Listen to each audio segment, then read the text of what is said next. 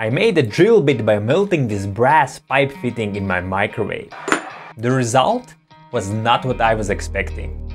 This video is a little teaser for my upcoming video about microwave metal melting. Because yes, you can melt metals in microwave and I'll show you how soon. Here you can see me preparing the mold for the burnout.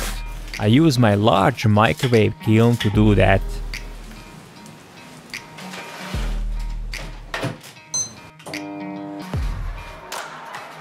The mold is ready to cast, let's melt some metal.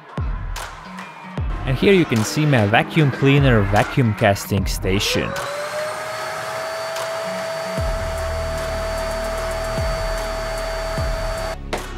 Unfortunately the 3D printed drill bit was a little bit bent and you can see it in the final cast. Not good, especially if it's made of brass.